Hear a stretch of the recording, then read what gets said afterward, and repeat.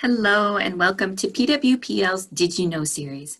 I am your Services Librarian Sarah Rayborg, and this series is to give you parents and educate educators a brief overview of the different digital databases and online resources available to you through your library. This segment of Did You Know is on the MEL resource Britannica School.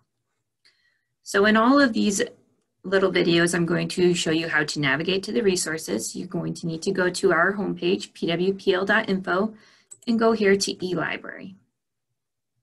Scroll down and find MEL, which is Michigan eLibrary, and click on that link. Then it will bring you to the MEL homepage. We're gonna go straight to kids right here. So this has a lot on it, which you are more than welcome to explore at any point. You have contact your library, we have e-resources, educators, there's a lot here. Today we're just gonna start with Britannica. So Britannica has four different parts to it. There's Britannica Fundamentals is pre-K through second grade. Britannica School Elementary is third and fourth. Britannica School Middle is 5th through 7th, and then there is also a Britannica High School that I will show you. So some of the key features of Britannica. It has leveled reading. It's very easy to switch between your elementary, middle, and high school platforms.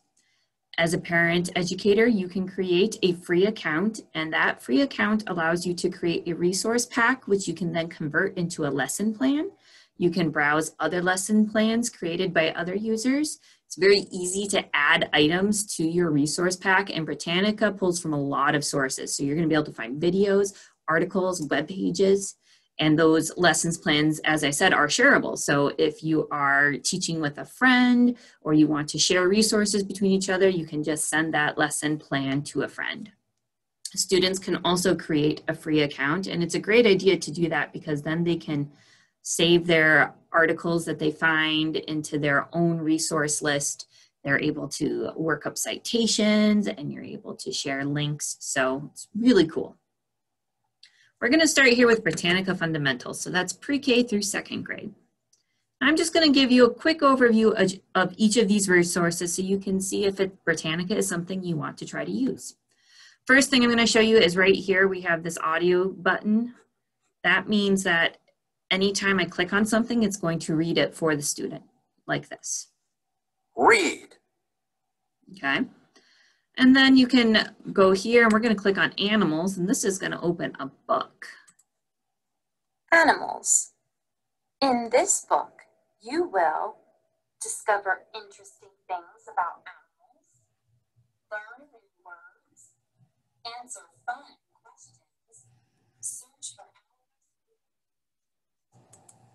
To turn that speaker off, all you have to do is click on this audio button and it'll mute it. As you know, K through second graders aren't probably independently reading yet, especially not these kinds of words. So having that turned on is a great way to allow a student to work their way through a book and work their way through some learning without needing the parent to sit right there and read to them. It's easy to navigate and it's an interactive kind of book here. You can also explore, which has biomes of the world. There is a play option and a create option, okay? So that's Britannica fundamentals. We're gonna go back to the Britannica School Elementary. And the first thing I'm gonna show you is actually how to access the quick change between the different grade levels. So you're going to click here, Britannica School, and it's going to bring you to this really fun little homepage for Britannica where you have your little sprout at elementary and your sapling at middle and moving on to becoming a full tree at your high school level. So we're going to go here into elementary. This Did You Know is curated by Britannica and it will change on a regular basis what is being highlighted here on this Did You Know? And then down here, we have our breakup of the different sections of media available. So you'll actually see, you can go to articles, you can go to media, there's a world atlas, biographies, etc. You know, geography, comparing countries. So if we click on media, it's then going to break it down by subject, okay? So we can go to plants and living things, And we can click on this video, we can play it. And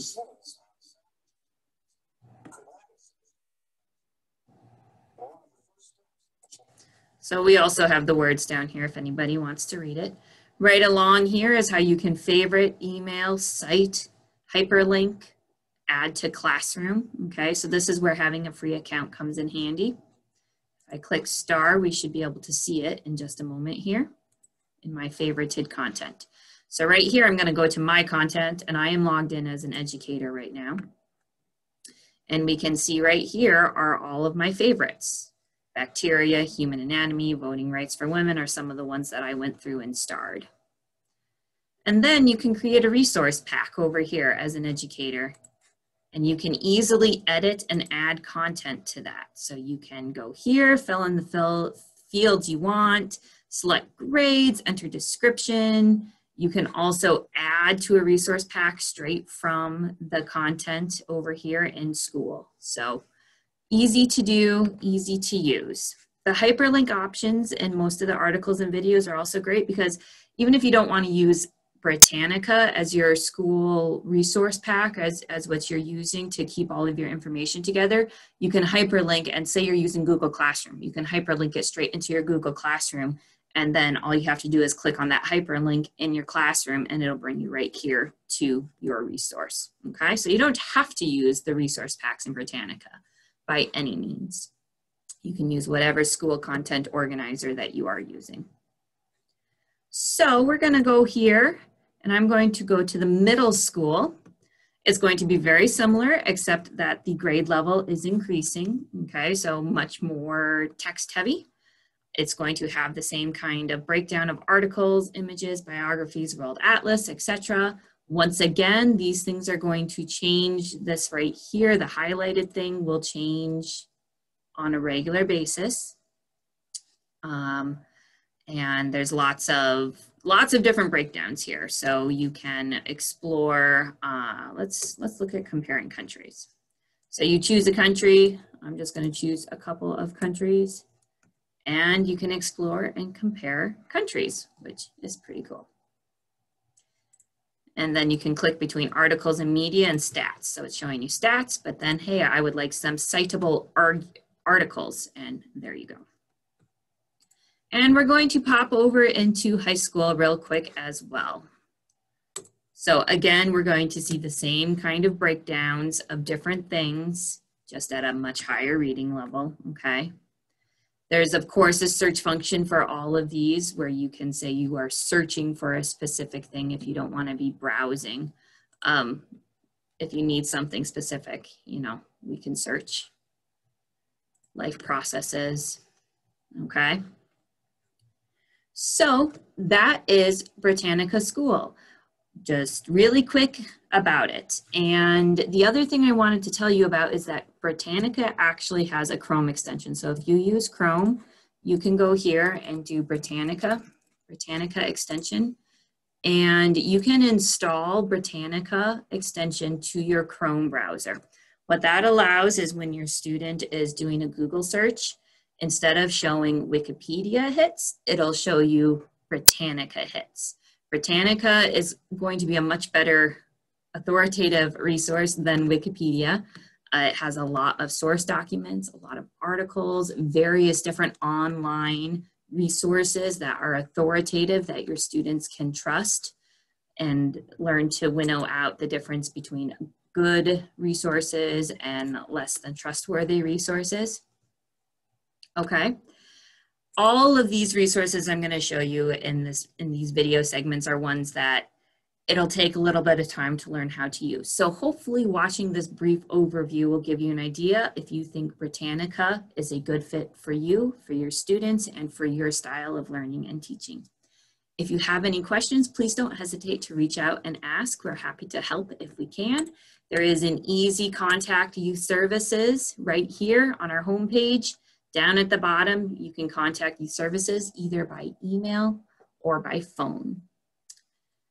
Check out Britannica, see if it works for you. Thank you for watching Britannica Did You Know with Peter White Public Library.